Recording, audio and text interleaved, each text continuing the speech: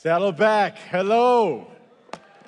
And hey, if you're joining us online or watching from all of our other campuses, we just wanted to say, hey, welcome. Even if you're one of our extensions, I just want to say we're one family in many locations, and uh, I'm expecting the Lord to do something incredible in your life. Now, my name is Reward Sibanda. Everybody say Sibanda. So you got to, yeah, exactly. You got to say it with that gravitas. You know what I'm saying? That, that Africanism. And that's because uh, even though uh, your boy is based in Dallas, Texas, but I'm originally from Bulawayo in Zimbabwe, right? And so, uh, and in that conversation, I am what you call, well, thank you, thank you. But uh, I am what you call a hollaback preacher. I'm a hollaback communicator. You know what I'm talking about? And, and what that means is if I say something and you think it's good, you don't have to be quiet. You know what I'm saying? You can talk back to your boy. It is not rude in this context. So if you've ever had a black church fantasy where you want to talk when they're talking, I got you. But hey, my wife is here. Hey, Pam, wave to God's people. That is my wife, Pam, right there. Y'all, listen, she is what you call an Enneagram 7. You know, that's uh, another word for people that, that do whatever they want, and uh, people love them for it. And 99% of the time she's laughing, and 99.9% of the time she's laughing at her own jokes. So she truly is the, uh, the, the, the, best part of me. She's also from Zimbabwe. Now, um, we're in arranged marriage, right? Now, now, I'm not talking about the African thing you might think of. I'm talking about the fact that she arranges everything in our marriage, and I show up I do exactly as I'm told, and it's been an easy marriage, y'all. So if you're in an arranged marriage, you know what I'm talking about, but the rest of y'all take some notes. But listen, it is uh, such an honor for me to be here today. It's such a humbling honor uh, because Pastor Rick is just an incredible, incredible. It's, it's amazing to see what God has done through his obedience and the legacy that he has around the world. Like, he was pastoring me when I was still a continent, a continent away. And so I just want to thank him for his obedience and his gift. I mean, Saddleback, y'all are spoiled for incredible leadership over here. You have phenomenal campus pastors, phenomenal leaders, phenomenal staff that contribute to this ethos and the excellence that you see around y'all. So let me say this, and um, I am not lying. You guys have the absolute best church leadership within a five mile radius of wherever you are. Beyond that, I don't want to be a liar, you know what I'm saying? But within five miles, you guys are killing it. But no, in all honesty, um, you have an incredible leadership, and I am so honored to be. And among that is Andy and Stacie, man. Uh, incredible people, love God, are faithful to the call, and truly, truly a gift to this generation. And they're your pastors. So, man, wherever you are, Andy and Stacie, honor you guys. You are good people. I mean, down to earth. I'm talking good, sweet potato pie. Well, if I was in Texas, I'm over here. So a crouton salad with kale, vegan, whatever you guys do in, uh, in California. That's how down to earth they are. But yeah, it's such an honor for me to be here uh, to close out the Transferring Trust uh, series. I feel like Andy has done such an incredibly masterful job in communi- communicating a very complex topic such as money, right? Money always makes us nervous um, in any context, whether in the world, whatever, as humanity. And I truly think it's because money is uh, the value system. I think money is the medium, the medium of exchange, but it's also how uh, we, we, we speak value, how we gauge value generationally. And so it's very easy for us to get twisted and caught up. And for someone to teach as masterfully as Pastor Andy has, there's got to be a level of faithfulness that they have essentially shown to be able to do that. So I've truly, truly enjoyed the, the series. And if I were to distill the series, the essence of everything that he has said across these three weeks, which if you haven't, by the way, you should go back and look at those. But if I was to distill the essence of it, it would come down to the simple thought. And the thought is the simple thing that we are stewards. That nothing that we have is ours at all. God has called us to be stewards of the things that He has entrusted us with. And I understand this because I grew up in a home that valued a lot of, of stewardship. I, I, I grew up in that, and we were taught to take care of things. Well, first of all, because we really didn't have that many things. Uh, but if I were to distill it, it would come back to this statement right here And here's one statement it is, it's not ours. I want to say it's not ours. It might be in your hand. You might be paying the mortgage, right? You may be the one that has the keys to it, but in reality, it is not ours. Now, that's a, maybe an uplifting statement, but for me, there's a little bit of traumatic triggering in that. And in order for you guys to understand, I gotta tell y'all the story of the radio. Okay, let me try that again. All right, Gen Z and um, Alpha generation, this is a radio. Okay, crickets. Let me try it one more time. This is what Apple Music and Spotify look like without makeup.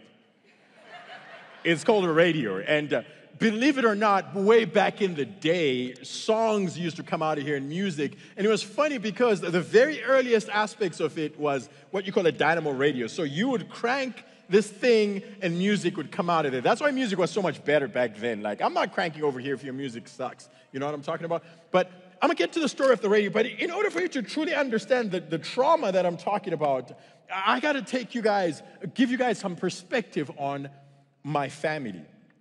Same mom, same dad. Let me ask you guys this. How many of you guys have siblings? I am so sorry for you. No, I'm kidding, right? How many of you guys have over six siblings? All right, we're going for gold. How many of y'all have over 10 siblings?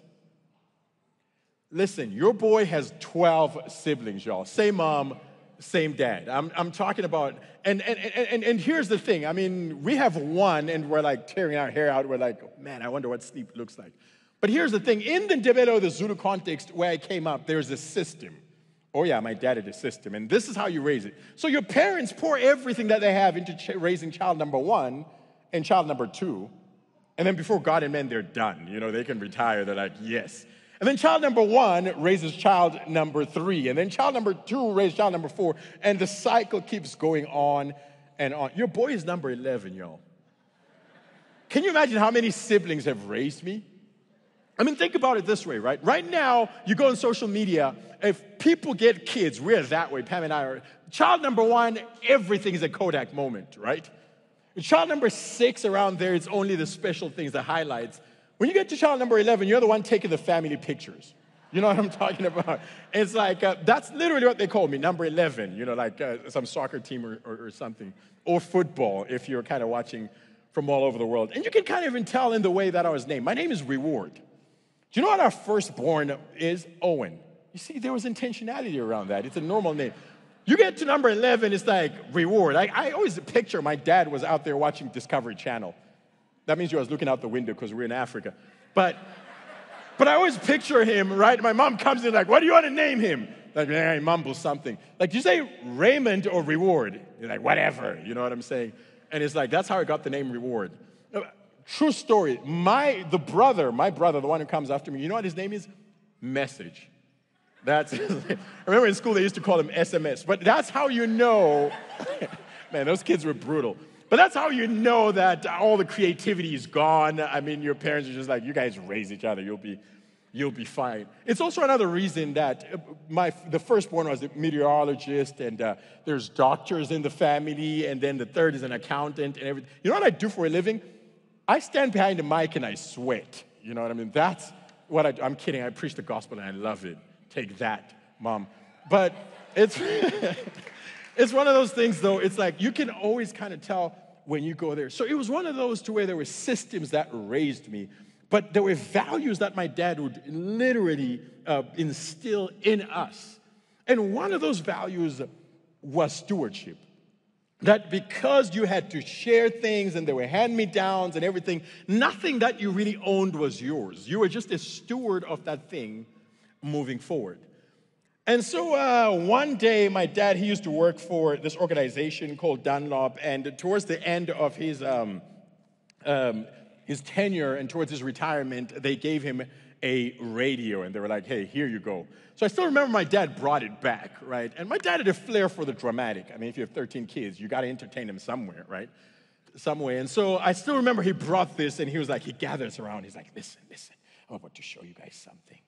And then he starts cranking the radio, right? He cranks the radio. And then, what sorcery is this? music start coming out of this box and, and songs start coming out of this box and laughter and it blows my little nine-year-old mind. I'm like oh my gosh what is happening? Right? And i'm completely blown away by this. And so i was standing next to two siblings. Now how many of you guys know there's always the good sibling right? But then there's always the evil sibling. You know what i'm talking about the one who always chooses chaos every time like cats. You know what I'm saying? They have that in common. It's like we choose chaos. So I turn, unfortunately, to him and I'm like, what's going on? What is, what is this magic box? He's like, oh, it's very simple. So what it is, is there's a lot of little villagers. There's a village inside this box. And so what happens is when you turn the handle, the crank, it releases food, and then the villagers eat and they get happy. Then they start singing and dancing, and that's the sound that comes out of this.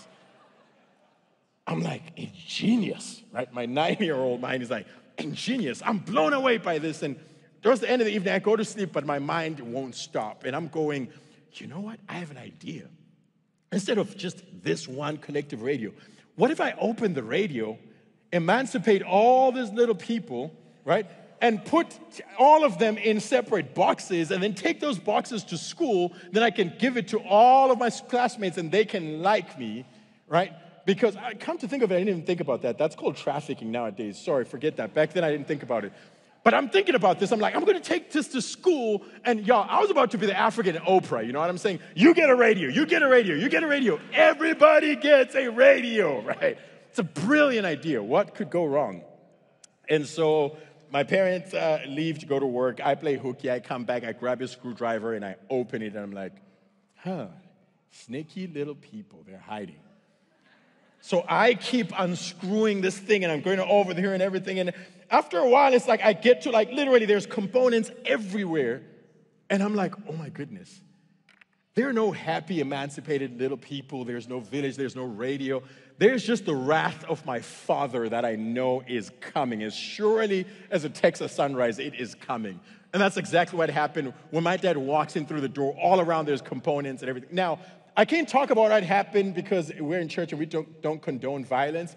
But all I can tell you is it happened to me to the cadence of, it's not yours, it's not yours, it's not yours. And since then, I developed a healthy side effect of um, respect for other people's property. But here's what I learned from there. And if I were to distill the whole essence of uh, our transferring trust series that we've been talking about, it's the simple fact that just the fact that it is yours does not mean it is yours. Everything about collective human experience is the simple fact that God has entrusted us with specific things, and that when we're good stewards of those things, then He entrusts us with more, what the world calls wealth. We call true wealth because then those things flow through us and become a blessing to everybody else. And when we understand that that is the core essence of why we have blessings and why some people have more things than the others, then that in itself is a message that is uh, preached. So, my conversation today is I want to talk about uh, fruitfulness and faithfulness. If we truly want to understand, someone said this and I thought it was pretty deep. They said, Where purpose is not known, abuse is inevitable. If you don't know the purpose of a thing, you will abuse it with the best of intentions, right? It includes everything. If I don't know what this iPad is for and it just looks like a flat slab, I'm going to use it to as a chopping board or something. It's just the way it is. And that includes relationships, by the way. If people don't know your purpose or why you exist, even if they link themselves with you under the umbrella of love, they'll abuse you because they don't truly understand why you exist. So, in order for us to truly get the essence and get the gist of faithfulness, I want us to go back um, to the book of Genesis, right? What was in God's mind when He began, when He created humanity? And we all know the story. So He starts creating and um, He starts creating, crafting this beautiful world.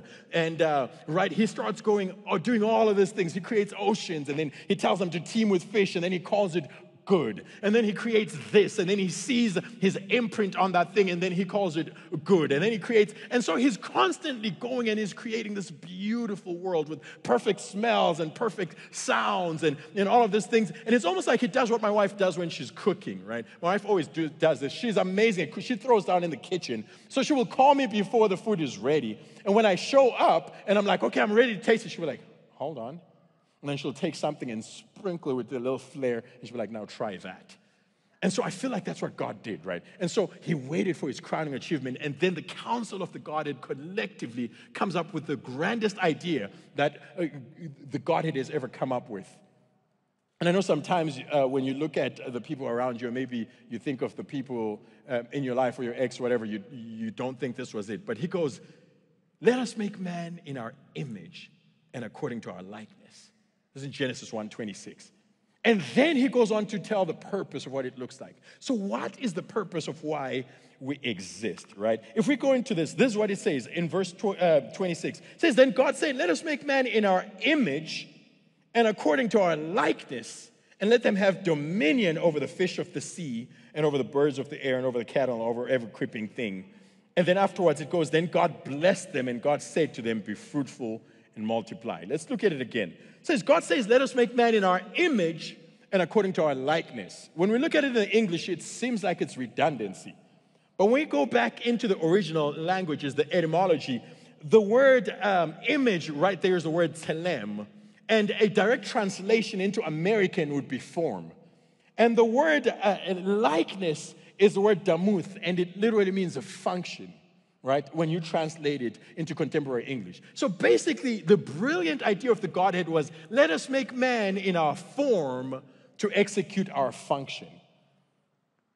That means every single person here was made in the form of God as a communal being that loves community and craves community to then step out there and execute the function of God. What is the function of God? It was to have dominion in whatever area He has placed you in.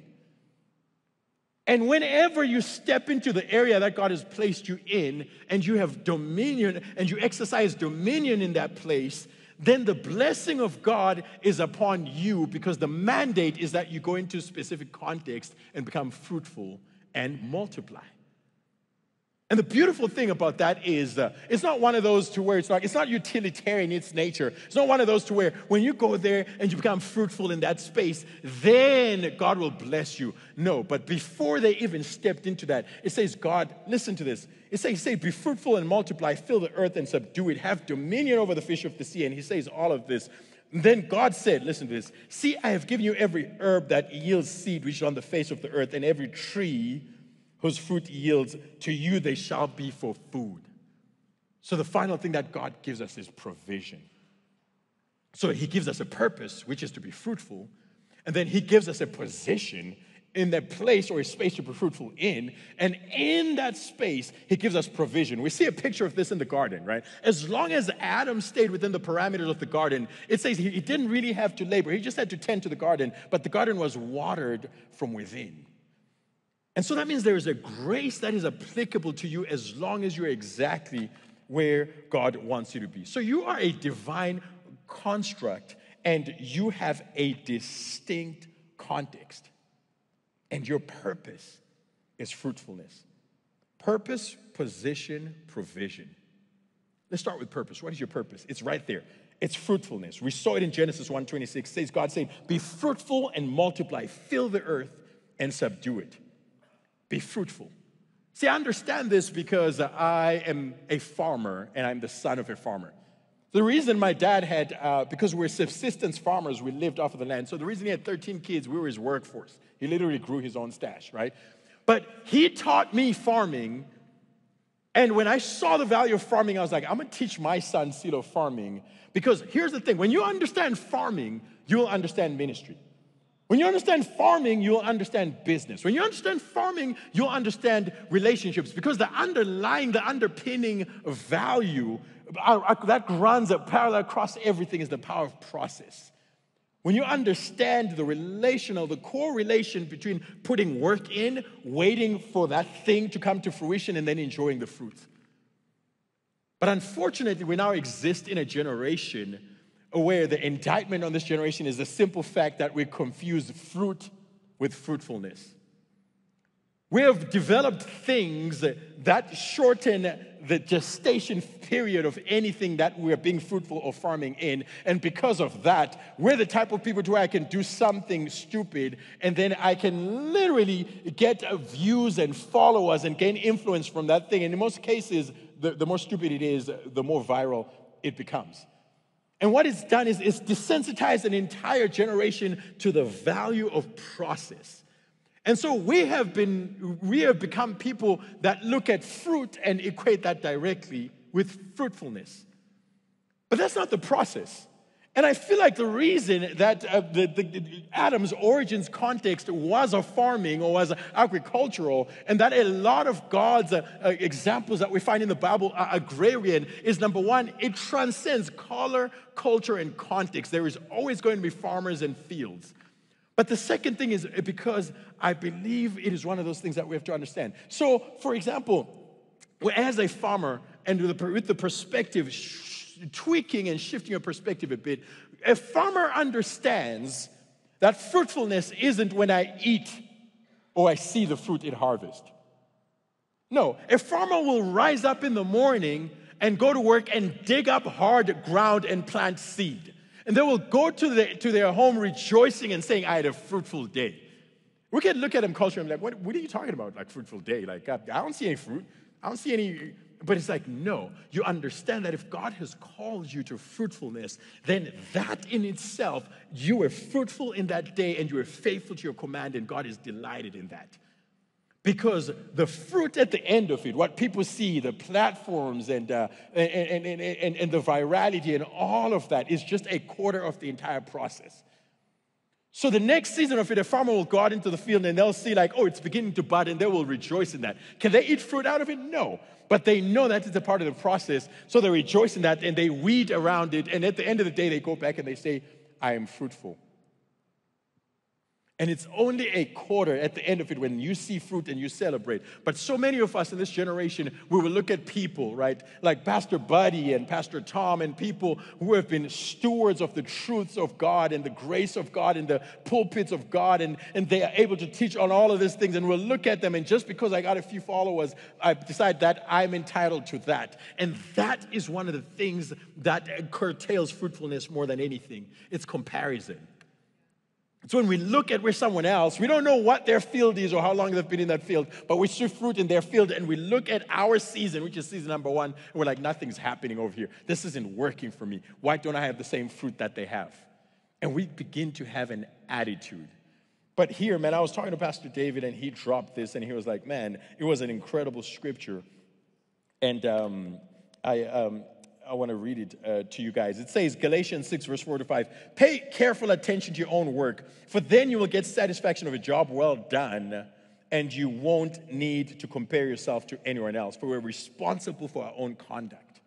You're responsible for the maturity of perspective to go, hey, they're in another field, farming another crop, in another season of their life, as long as I'm faithful to what God has called me to do, He rejoices in my fruitfulness, whether I see fruit or not. He does. And you know what the most beautiful thing about it is that um, the, our purpose is fruitfulness.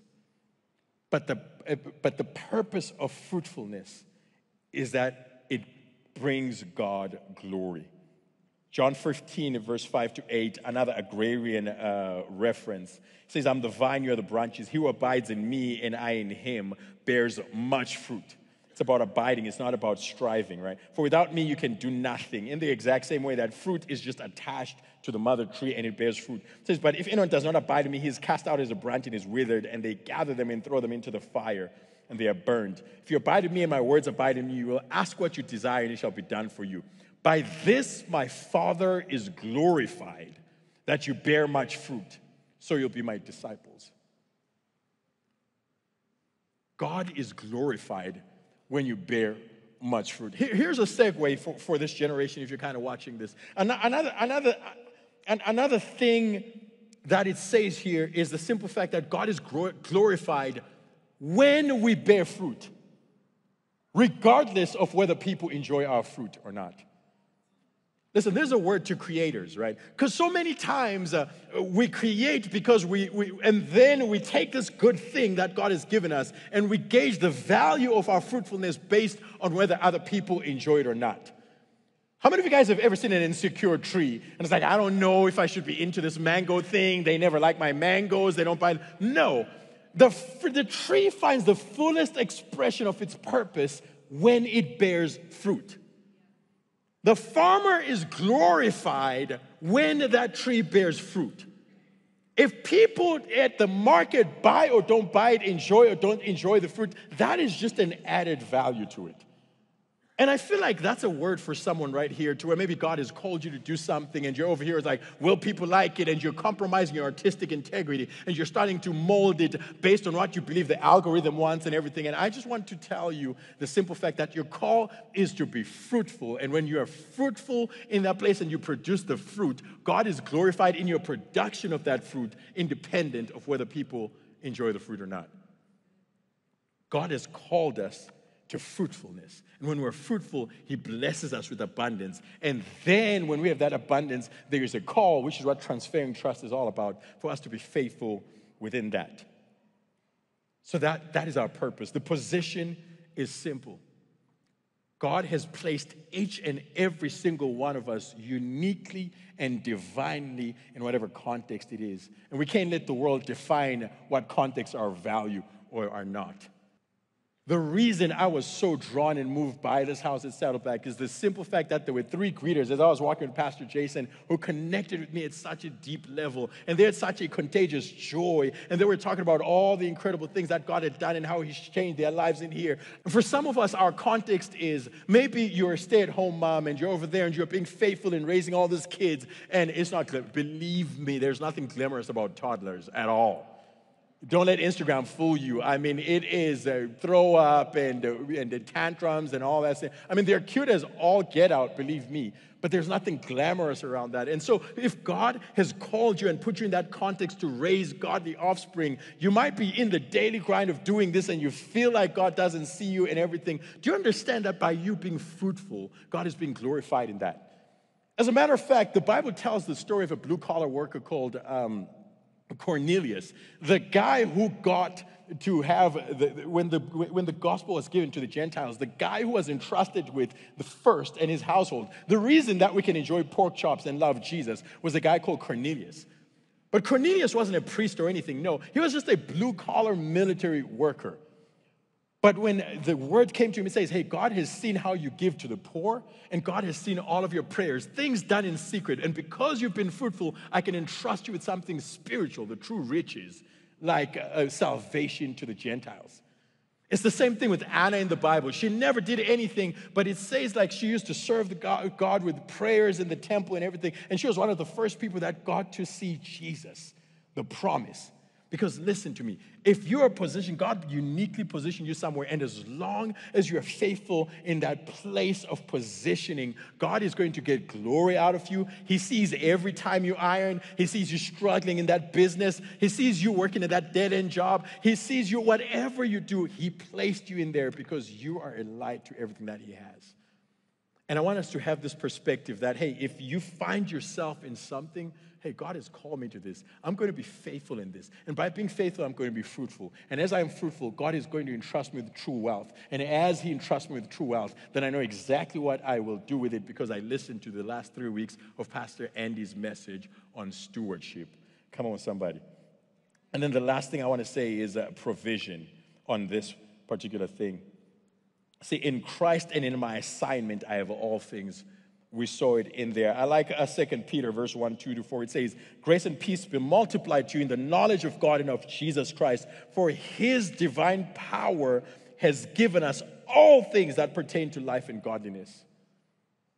The abundance of heaven when you're in your place of positioning is yours. It's at your discretion. Are we seeing it?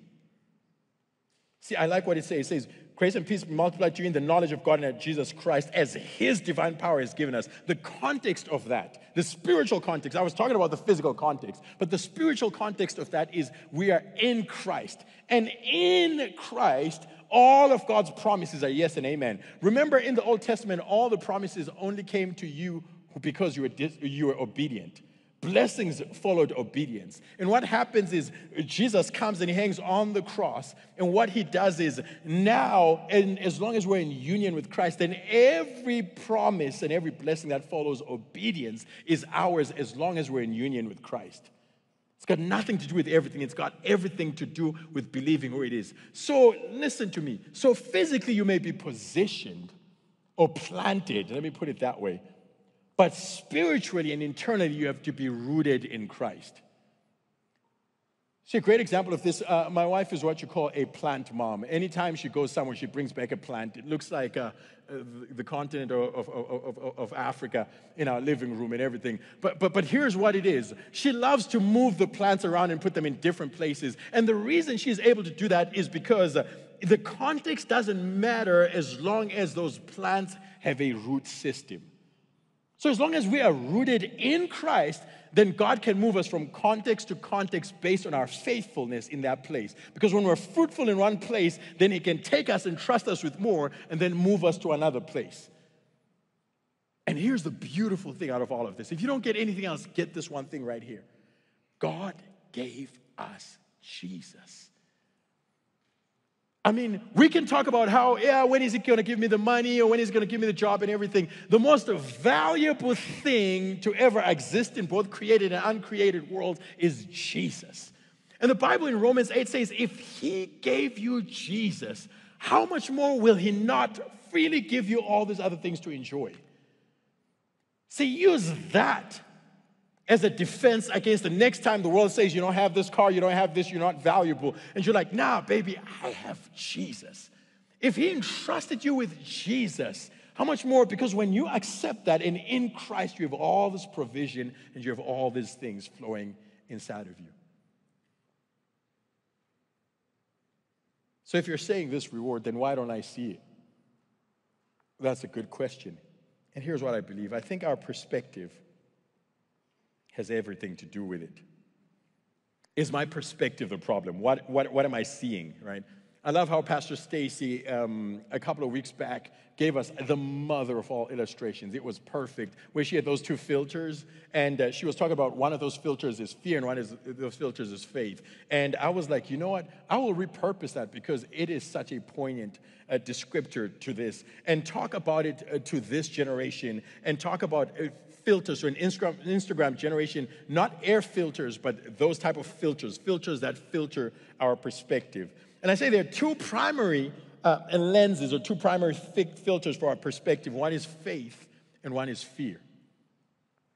Right? The concept is sound. We heard it and everything. And it's one of those things that uh, whatever, whenever we look through the lens of fear, we see some things and miss some things. And whenever we look through the lens of faith, we see some things and, and we miss some things because both of them are storytellers and they're constantly projecting in our minds uh, different outcomes of the thing that you are in. One of those is the worst case scenario, and the other, based on God's faithfulness and his litany and track record of love and provision, is one where you come out on top and, and God has been with you and He comforts you even if it doesn't look the way it is. So, is it possible that our perspective is what has uh, uh, taken us away from this? And I think one of the most uh, masterful examples of this is uh, Pastor Andy preached an incredible sermon on it. Uh, it is the parable of the talents. I still remember I was so convicted by the Holy Spirit on my stewardship that after I listened to it, I was like, let me go and do a deep dive on it because I have what you call an ethnocentric bias. No, that's not really a, a, disease or anything. They don't make a cream for that. But here's what an ethnocentric bias is ethnocentrism is what you call the evaluation of other cultures according to preconceptions originating in the standards and customs of one's own culture. So, for example, um, some uh, biblical uh, sociologists uh, did this study on the story of the prodigal son. And if, you, if you've read it in the Bible, it's basically the son, he goes to his father and he asks for his inheritance. And then he takes that inheritance, goes to a faraway land, and completely squanders that. And then he comes back and he says, uh, Dad, uh, can I just be your servant? And it does this. And the father uh, wraps his arms around him and he completely forgives him and he reinstates him into a place of honor. It's a beautiful narrative. And there's so many parallels about the grace and the beauty of God. But they took that narrative and they went around the world and they asked different people um, this one statement why did the prodigal son fail? Right? And so they went to people in the Soviet context and they say, why did he fail? And they said, oh, it's simple. He failed because there was a famine. Then they went to Latin America neighbors and they say, why did the prodigal son fail? And the people there said, oh, it's obvious. He was a foreigner and no one helped him. They went uh, to the Asian context and they asked, why did he fail? And he said, oh, he brought dishonor on his family. Right? And they went to the African context where I come from, where Ubuntu, the social philosophy, speaks uh, to togetherness and the value of family. They say, why did he fail? It's like, it's easy. He left his family and he went to another land. Then they came right here to the US and say why he failed. To say it's easy. He made bad investment, he had bad money choices, he didn't have a money mentor, he had horrible discipline, and he didn't make the right investments. The same parable, right? Completely different value systems. So when I was reading the story of the, of, of, the parable of the talents, I always assumed, because I was coming from a context of lack, I always assumed that it was just a little bit of coin. As a matter of fact, that's what we're taught in Sunday school. But then I started doing research after Pastor Andy's uh, uh, sermon, and I noticed that a talent was actually a measure. And a talent was equal to 6,000 denarii, which a denarii was a day's wage in biblical times. So it was equal to 6,000 denarii or 20 years of daily wages for a six day work week. So this master didn't just give the servant uh, a coin, right? When I did some ghetto math uh, based on the blue collar, like uh, minimum wage, I found out that after calculations, he gave him in today's money $714,240 US. And when I read it, I was like, oh my gosh, that's why the master was so ticked off. He didn't just bury a coin, he took an entire industry and he buried it. And my challenge to you is what is our perspective, right, when it comes to the things that God has entrusted? Why do we not see His provision? Is it my perspective about me or is it about millions? There's a number that a, a, psychologist came up with called the Dunbar number, and basically it says the number of meaningful relationships we can have is 150 people. And so when I did my uh, ghetto math, I found out that if you take that and you percentage it against the 8 billion population of the world, um, is the simple fact that it comes to 0.001875. Y'all, listen, fear is bad math.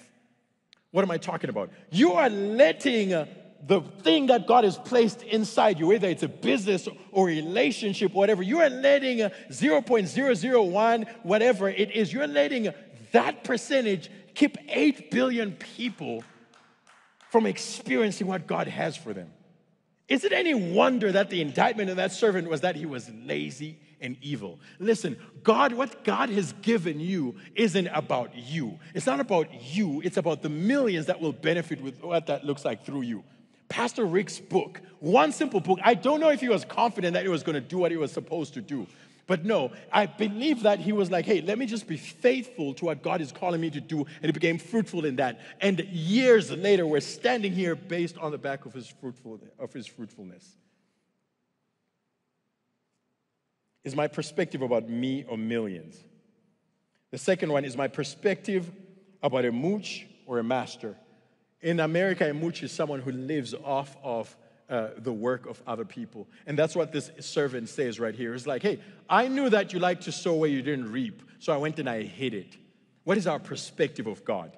Is he someone who loves to bless us and bless people through us? Because listen, we don't give to the church, we give through the church. Generosity is a generational mandate, and God takes what we've entrusted with Him with, and He blesses the generations around us. That's why we went through the, the 90 day trust challenge here because we had to shift our perspective to looking as God as Lord and Master of everything that He has blessed us with. And finally, is my perspective about poverty or is it about plenty? See, listen, nature has no reference point for poverty. Look at everything that God created. Everything. The leaves, you can't count them. Sands, you can't count them. Snowstorm, you can't count them. Nature doesn't hold on to things. When the season is over, the leaves drop because the next year there's going to be replenishment. You cannot look at nature, which is a direct mirror of the nature of God, and see lack anywhere. You know why? Because poverty is a perspective. What do I mean? When Adam ate the fruit, which is what I tell my wife always happens when you force a man to eat vegetables, everything goes sideways, right? But what happened? The moment he ate fruit, the abundance of God around him didn't disappear. But his perspective shifted, and for the first time, he shifted away from all the abundance that was around him and on the one thing that he lacked. Because poverty is a myopic perspective where you focus on that which you do not have and not on, the, on, on, on everything around you. Poverty is the first side effect of sin. And we all know this because you don't have to not have money to have poverty. Listen, I know all of you guys know people here who are so poor that all they have is money. You look at those people and their money has them so bound and they're so stingy and so scroogey and everything to where you're over here and they're like, I don't think you have money, I think money has you. But the beautiful thing about you yielding and seeing that I've been entrusted with this is because you can begin to release the blessings of God. And you can begin to bless local churches like Saddleback that do incredible life changing work around the world. And for me, this perspective couldn't have been truer than um, what just happened recently where my wife was like, hey, um, I, I, surprised my wife after um, our son, and I was like, hey, let's go to Fiji. I was cheap, I had the points for it, it was cheap. So I was like, hey, let me win husband of the year and take you to Fiji. And so my wife's like, oh, great, you know what? If I take you to Fiji, then we can go skydiving. Sevens, I don't know how they came from here to there, but she was right there and she was waiting for me. I was like, hey, this is what I said, y'all. I said, hey, if that's what you want to do, I didn't say we, I said if that's what you want to do, but that's not what my wife heard. Because when we got to Fiji, right, she wakes me up this morning with like giddy excitement and she's like, guess what? I booked our skydiving. We're going skydiving today. I was like, oh my, oh my God, did you? No, I don't want to skydiving. She's like, oh, you don't want to go skydiving? Well, it's okay if you're scared. Listen, reverse psychology works every time. And so it's like, I'm not scared and everything. I was scared. I was terrified. I was petrified. You know what I'm saying? You know why? Let me tell you why. In my defense, right, in the African context or in the Ndebele or the Zulu context, it doesn't just matter that you die, it matters how you die. So I wasn't going to be a cautionary tale around African fires for eternity where people talk about, hey, that guy, he fell out of a plane was like, how? You know what I'm saying? So I was like, I don't want to do it, but she was like, no. And I knew she was going to punk me. So I was like, you know what? Fine, I'm going to do it. So we show up to this thing and they pair us up. And she's paired off with this guy. He's like, hey, you're going to be fine. I've done this millions of times. I was a South African Special Forces. We're going to be good. Let me check your things and everything. And then my guy shows up. He's like, hey, that's your guy. He's like, his name is Jean Luc, but he doesn't barely speak any English. I'm like, great. And then so he points to me, he's like, hey, hey, Texas. And the guy goes, ooh, Texas, big hats, pew, pew, pew. I'm like, wait, wait, wait, what does that mean? Let's, let's solve this on the ground. I don't want to go up there with you. Do you hate Texas? Are you from Oklahoma? Like, what, what's going on over here, right? But anyways, uh, I get up on there, long story short, we go up and higher and higher, 15,000 feet. I'm like, oh my gosh, this is going to be crazy. And he can tell I'm freaking out, so he decides to give me two pep talks. The first pep talk is this. He's like, hey, he tried to do comedy. With his limited lexicon, as a side gig, he chose comedy. He points to his, um, to his GoPro. He's like, hey, here's the deal, okay? You smile, I pull. You don't smile, I don't pull. I was like, that's not funny. That's not funny at all. And he, he can tell that I'm like, or whatever. So he decides to give me um, another. He was like, okay, okay, listen, it's easy, easy. Okay, you're supposed to be like this, like happy banana not straight like pancake. I'm like, dude, all your food analogies are wrong right now. You don't mention pancakes when someone's about to jump from a plane, right?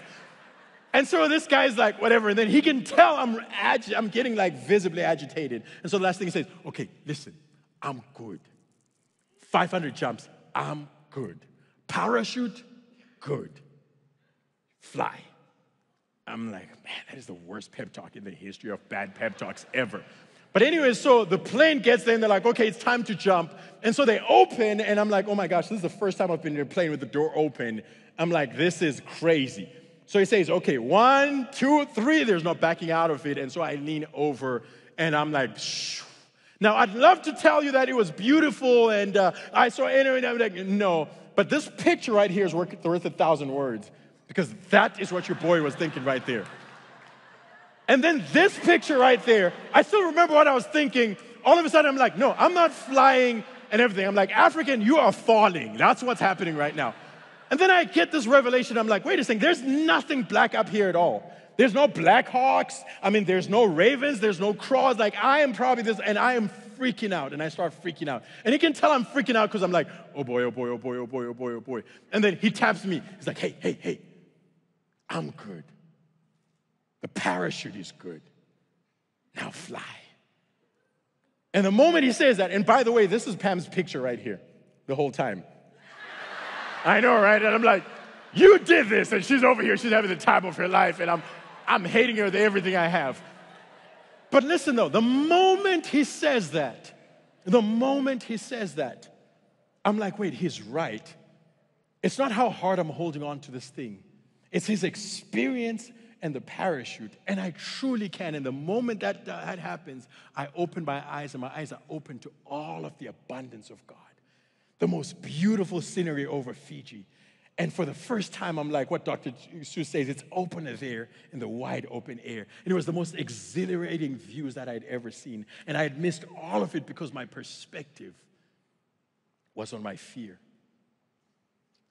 And so here's my challenge to y'all as I bring this to a close. When I was talking to, um, to Pastor Andy, this is what he told me. Pastor Andy was like, I was like, hey, after all the teaching that you've done, where would you land? Where would you like me to land this? What is the one thought you want God's people to take away from this?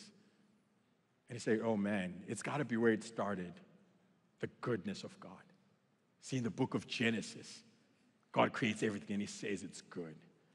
And he says, Hey, if people can learn to anchor their finances, their trust, their giftings, and their callings on God's goodness, then stewardship will just be a side effect of what happens.